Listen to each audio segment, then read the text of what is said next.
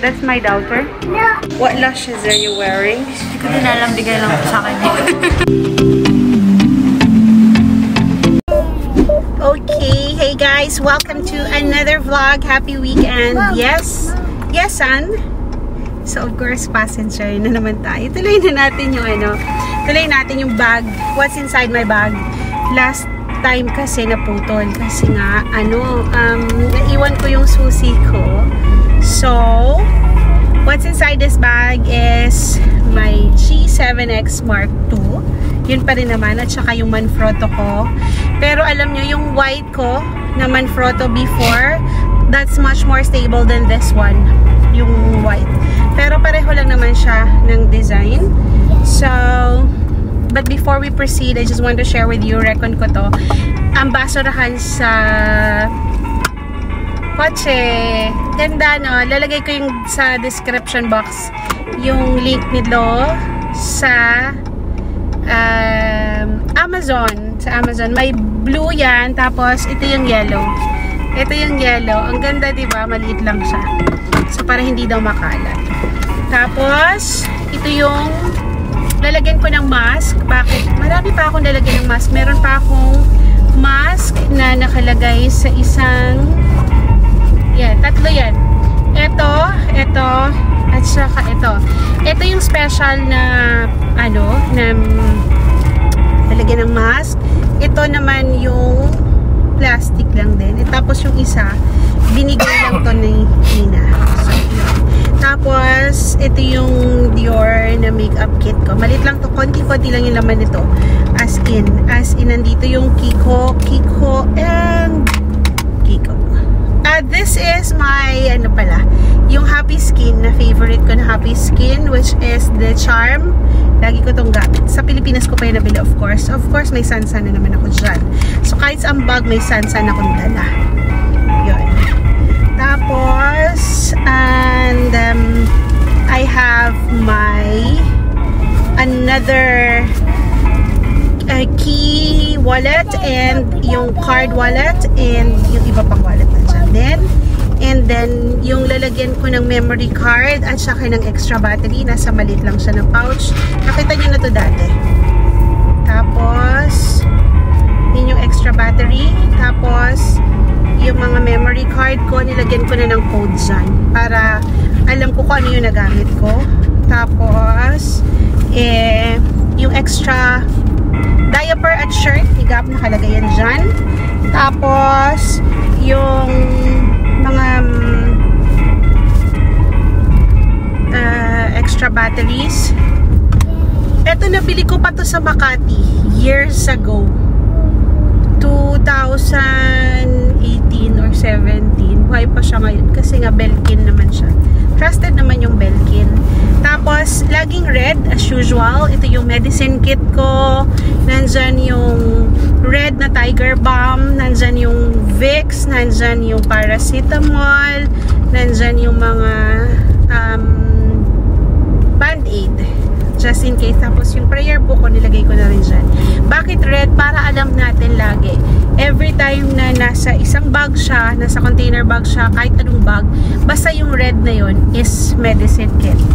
Um, lagi, syempre kapag mami kayo, lagi naman yun yung ano. Tapos nandito rin yung isa ko pang mask.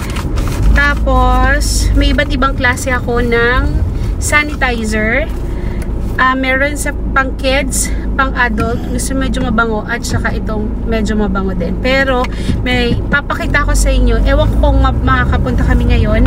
Gusto kong bilhin yung sa Mango na hand sanitizer, sobrang bango niya. Um, na try ko last weekend nung pumunta kami doon. Tapos, meron ako dito, syempre sa ilong ko, hindi mawawala yung Avemis. Kung meron kayong polyps or mga hyperallergy nyo sa ilong nyo.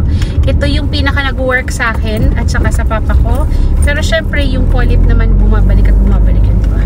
At saka yung spray sa eyes. Hindi eyes, sa uh, sunglasses. Um, yun. And, of course, my phones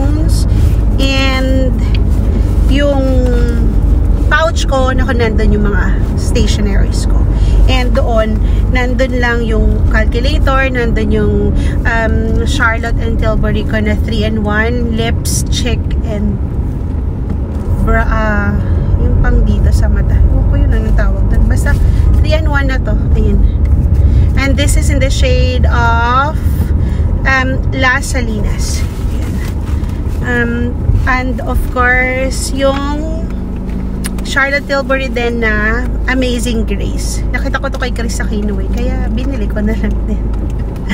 Tapos, uh, I'm wearing a Clarins 111 shade.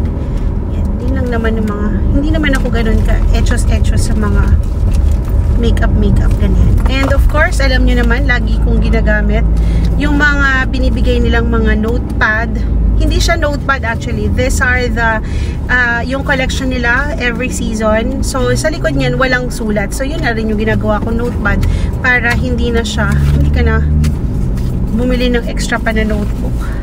And some more um, gift vouchers. Thank you so much. And tissue. Yun lang yung laman nun. And um, kapag mami kayo and you're going to travel, mas maganda na dala-dala nyo mas malaki para magkaroon kayo ng all-in-one bag inside your car. Pero kapag naman ano, mas maganda na meron kayong extra pa na bag sa loob ng bag para kapag yung talagang hindi mo naman kailangan dalhin lahat, eh madadala mo lang yung cellphone mo at saka yung mga card wallet mo. You don't really need to bring all this. You can live in this you can leave this in the car kasi hindi naman lahat to kailangan mo pag alis mo ng ano pag may pupuntahan ka, di ba? So these are just a must for me na dala-dala ko kasi minsan talaga nagsisisi ako kung di ko to dala kasi nandito lahat, di ba? So, I hope you've enjoyed and you get some tips from me what you have to bring when you are on the road lagi with your kids, with your family, ganyan. So, hindi ko pala na vlog what's inside our, yeah, my um, pouch dito sa car. Iniiwan ko to sa car. Kasi, this uh, should be here. Should be here. Kasi, this have, again, lahat ng mga kailangan ko just in case na wala talaga akong dalang bag or whatever. Emergency kits lang. Nandito yung Nurofen, paracetamol. Nandito yung um, Tiger Balm. Again, if, if I haven't mentioned before, nakabili ako ng Tiger Balm na hindi siya originally packed. Uh, I'll show the picture maybe in the side. Nabili ko siya, but that's from somewhere else. As in, pero ito, originally packed and I bought this from Wing Yip. So, talagang original siya. And I have the Garnier um, Ambre Soler. This is just medium 15 kasi hindi masyado kaming naglalalabas. Then, I have my sun sanitizer. This is the organic one. And then, I have my hand cream kasi sobrang dry ako. I have, again, glass cleaner. And then, hand sanitizer. And, again, baby sanitizer.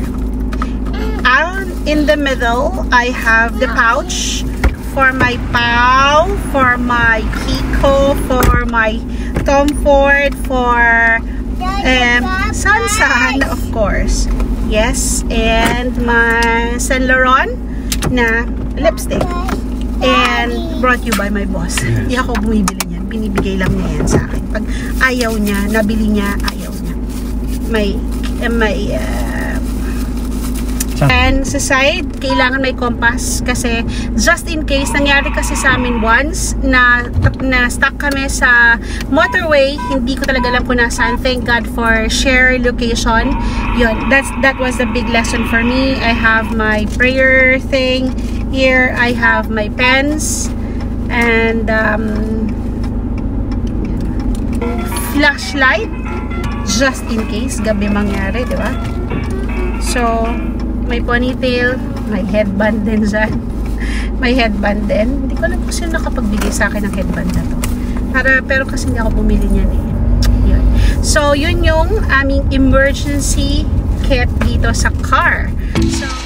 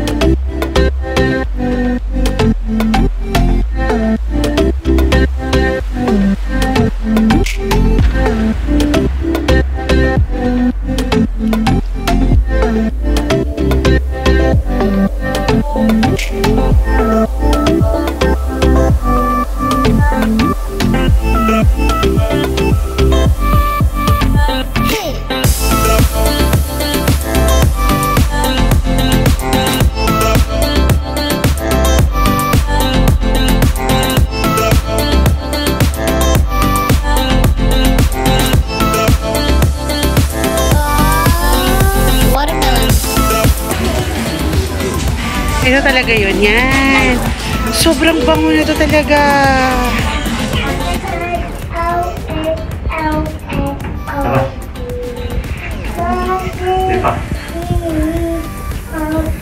Lower ground. Doors open. Wanna show them your outfits? This is by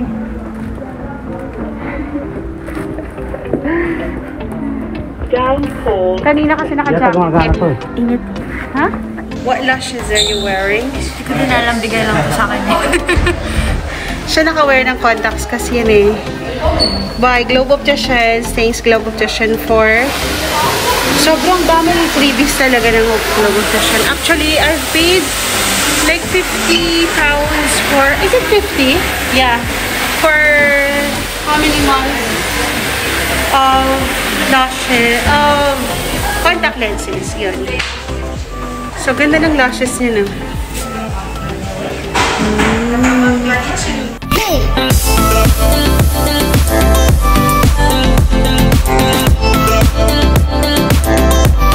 So I hope you've enjoyed watching this video and if you like to watch more of my videos, please do click in my channel. Thank you so much for watching. This is Janice B saying be brave, be you and just be true. Thank you so much for watching and I hope to see you again in my next vlog.